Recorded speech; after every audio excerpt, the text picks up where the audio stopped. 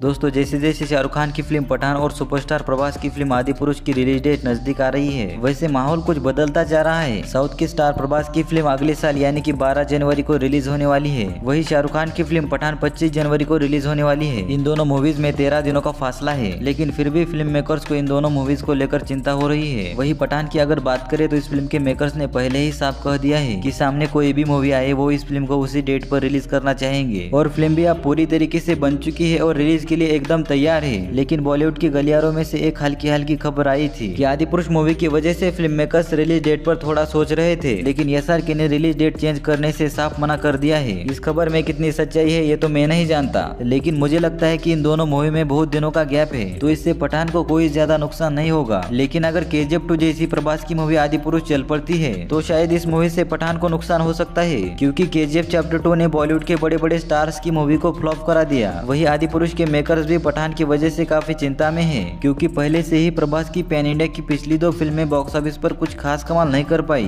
वही दूसरी ओर तेरह दिनों के गैप में प्रभास की मूवी आदि पुरुष के सामने शाहरुख खान की मूवी पठान रिलीज़ होने वाली है। और इस वक्त जिस तरह से पठान मूवी का बज बना हुआ है, और इससे यही लग रहा है की ये मूवी बॉक्स ऑफ़िस पर एक नया रिकॉर्ड सेट करने वाली है। और कुछ दिनों से प्रभास और एस के फैंस ये कमेंट करके पूछ रहे हैं कि भाई आदि पुरुष के सामने पठान आएगी तो इससे आदि पुरुष को बॉक्स ऑफ़िस पर कोई नुकसान तो नहीं होगा ना? वही दूसरी ओर एस के फैंस का भी यही सवाल था तो भाई इसके बारे में तो ये मूवी रिलीज़ होने के बाद ही पता चलेगा। और अगर आदि पुरुष के जैसी चलती है तो भाई यहाँ पठान को थोड़ा बहुत नुकसान हो सकता है। और रही बात रिलीज़ डेट चेंज करने की तो तो भाई मुझे तो अब नहीं लगता कि इसकी रिलीज़ डेट चेंज होने वाली है। और यार किसी भी एक्टर की मूवी के सामने शाहरुख खान जैसी सुपरस्टार की मूवी आएगी तो नुकसान तो होगा ही उस मूवी का। लेकिन आज फ़ैन सिर्फ़ कंटेंट को देख रहे हैं। दोनों ही मूवीज़ का कंटेंट अच्छा होगा तो दोनों ही चलेगी। वही कंटेंट अगर अच्छा नहीं होगा तो दोनों ही मूवी बॉक्स ऑफ़िस पर औंधे मुँह गिरेगी। वैसे आप इन दोनों मूवी में से कौन सी मूवी देखने के लिए जाने वाले हो कमेंट करके ज़रूर बताना। बाकी और भी ज़्यादा इसे अपडेट के लिए हमारे चैनल को सब्सक्राइब करें।